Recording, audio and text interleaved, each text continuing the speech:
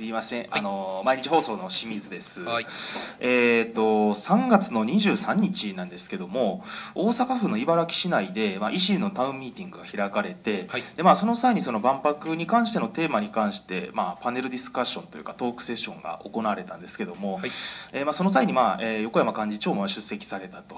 で、えー隣で出席していたその吉村共同代表がですね、えーとまあ、この万博に関して、まあ、こう特定のメディアや番組に対するこう言論の自由を妨げるような発言、まああのまあ、特定の番組に対してもうなんか万博にはもう入れさせんとこうと思いますっていうふうな発言をしたというふうなまあ動画がまあ SNS 上でが拡散されているんですけども、まあ、まずこの辺りその横山幹事長として、ま、確かにそういう発言があったのかどうかっていうところのまあ事実確認とあとはまあこれを横で真横で聞いていて、まあ、この発言に対してこう違和感とか疑問とかっていうのを抱かなかったのかっていうのを教えていただけますか？はい、あの発言の概要についてはまたあの知事の方にも聞いていただいたらと思います。であのまあ、そもそも僕や知事にあのあれですよねあの会場に出入りを禁止するという、うん、あの当たり前ですけど、まあ、出入りを禁止する権限はないので、はい、あのそういう認識です。で合わせて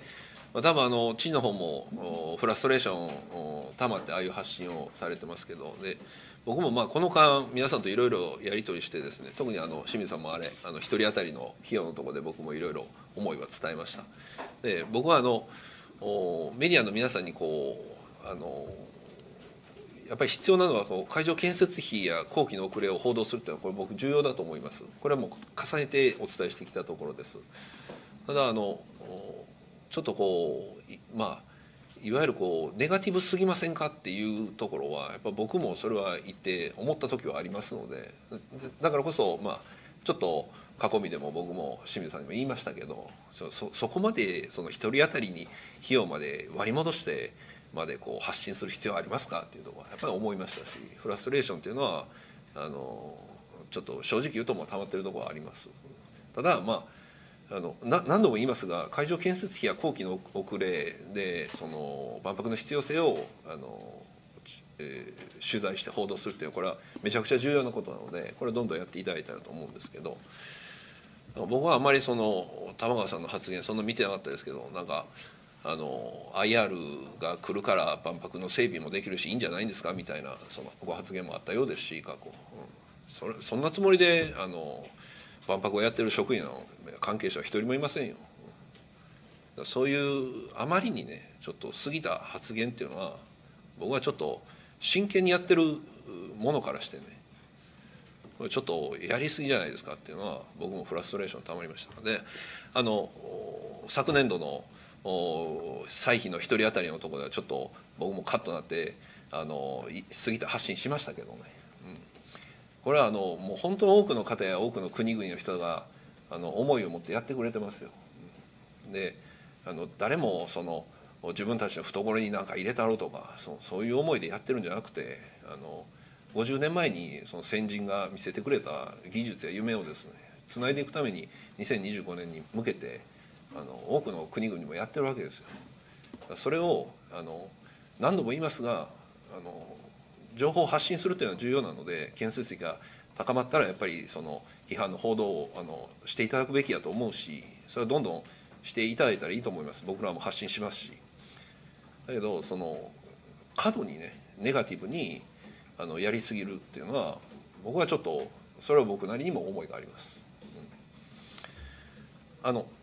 少なくとも、えーと、そそれぐらいです。ご質問に関しては。うん。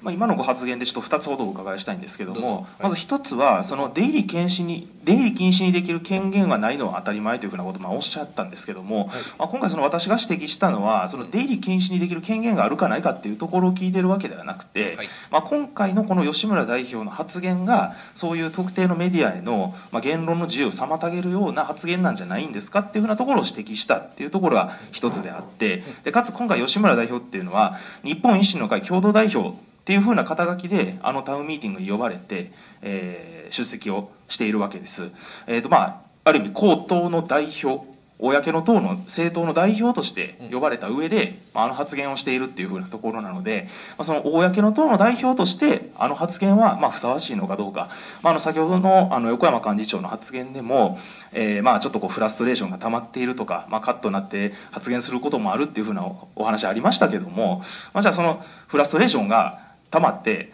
カットなって発言するっていうふうなところを、まあ、その公の党の代表として発言するにふさわしいのかどうか。この辺りはどういうふうに考えますか？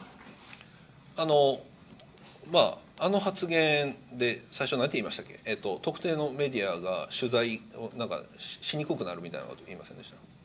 た？あ僕はですか？そうそうそう。あ僕これ発信した弊害としてはそののなんか特定の社がの発信を弊害するみたいな言ってませんでした？あ違います、えっと、その僕は、まあ、あのいわばまあその他局さんというか、うん、まあ、そもそもまあ関東のメディアさんでもあるんで、まああのまあ、うちとは全然まあ関係のないところっていうところもあったんで、まあ、特定の番組っていうふうな言い方をさせていただきました。でその特定の番組を指して、その取材の際に、まあ、あの万博の会場にあの出入りするのはもう入れさせんとこうと思ってますっていうふうな発言を、まあ、吉村代表はされていて、まあ、その動画が SNS 上でまあ拡散されているとい。うふうなところを、まあ、あの状況としてまあ説明をさせていただいたという形ですね。はい、あの実際に取材をあの断れる権限はありませんので。な何が問題なんでしたっけ？あ違うその取材をす権限、えー、取材を断る権限があるないっていうところを僕が指摘しているんじゃなくて、はい、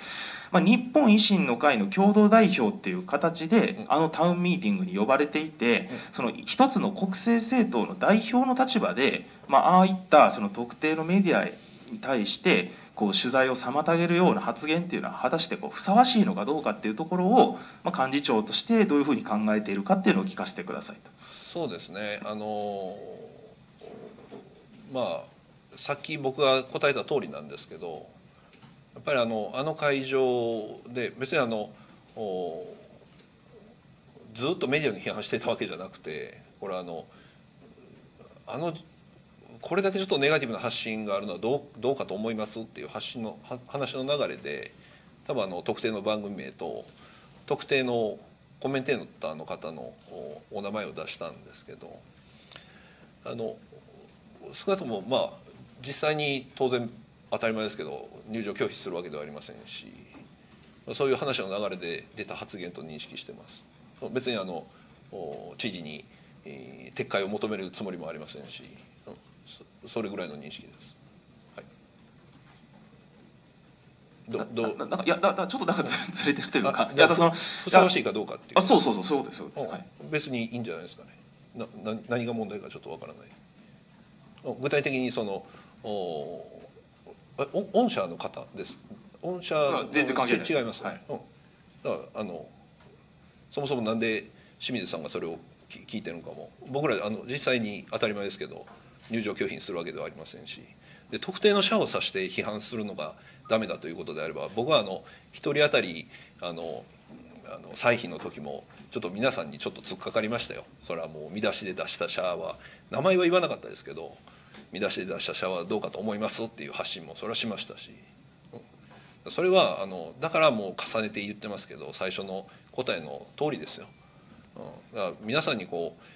何回も言いますけどその費用の上振れの話とかリスクの話があればこれはどんどん取材いただいてやっぱりあの国民の皆さんの不安に払拭していくために発信してほしいと思いますよ。ただあのさっき言ったようにちょっとこうそこまで伝える、まあ、逆に言うと住民の不安を煽るようなね情報の発信まで必要ですかっていうのは僕は思ってますしあのそれを言うなら大阪維新の会の幹事長として、まあまあ、特定のメディアの発信に対して僕も文句言ってきました。あのだからといって僕はあのメディアの皆さんの取材を拒否するつもりもありませんしそれは知事も一緒だと思います。あの毎日囲みを受けますし他の自治体ではやってないでしょうけど毎日取材も受けるし毎日あのやり取りもしますよ。だけどあの主催してるあの自治体の長長としてまたあの政党の幹事長として思うことも言います。それを思うことはちょっとネガティブな発信をしすぎてる人に対してあの会議の場で文句を言うことだってありますよ。あの発言についてのあの感想を聞かれたらそういうことです。じゃあまあ1点確認ですけども、まあ、あの過去のあの囲み取材の中でもですね、はい。まあ、あの市長としてのお立場であの万博の一人当たり歳費に関して、うん。まあ、こうあの人数で割り戻すっていうふうなあたりの話に関しての、まあ、発言もちろんありましたけども、はい。まあ、そちらに関してその見出しとしてそこを掲げるのはどうかっていうふうにおっしゃってたあの発言と、あの3月23日茨城のそのタウンミーティングの中で、まあ、吉村共同代表が発言したその特定の番組名とコメンテーターの名前を挙げてもう会場には入れさせんとこうと思いますっていうふうに発言したあれは、まあ、同じものだというふうに考えておられるんですか？うん、これまた同じですって言ったらこの点が違いますとかいうあの生産性のない議論になるんですけど言いたいのは僕はあのちょっと不適切に言い過ぎたなと僕は思ったあの見出しで出した社はもうあの特定の社だけ素晴らしいとかですねその見出しで出した社はもう全部ダメだっていうのも僕は発信しましたけどあのそういうのはあのこれからも多分あの発信します、思ったら言いますそこは。ただあの取材拒否もしませんしどんどん聞いていただいて結構だと思うんですけど、まあ、別にあの実際にじゃ見出しであの1人当たりの歳費を出した社はですねあの囲みもう禁止とかもう囲み受けません。逆に言うともうちゃんと取材してくれる社しか僕は取材を受けませんっていうことも僕はできるんです。毎日囲みやってるけどもう囲みやめますっていうのもできますけど。しません。どんどん取材していただいて結構なんですけど万博が目前に迫った1年後に迫った中でそのこれも何回も繰り返しになりますけど費用や工期や問題点あればどんどん報道してください。だけどそれをなんか情報をこねくり回して IR と無理やり結びつけたりそのわざわざ1人当たりに単純な割り割り算をしてですねあの住民負担が上がるようなメッセージを見出しで報道したりちょっとそれは行き過ぎじゃないですかっていう思いがあったのでそれはあの僕は僕の形で発信しました。ただあの重ねてになりますがもうメディアの皆さんとはもうしっかりそこはあのやり取りしながら情報発信しながらやっていきたいと思います、はい、以上です。他質問ある社ございます読売新聞さん読売新聞の上野です、はい。そ今は先ほどのそのやり取りのことで、ちょっと一応確認だったんですけど、はいはい。あのまあし市長なり知事なりがこう我々が報道する内容についてあの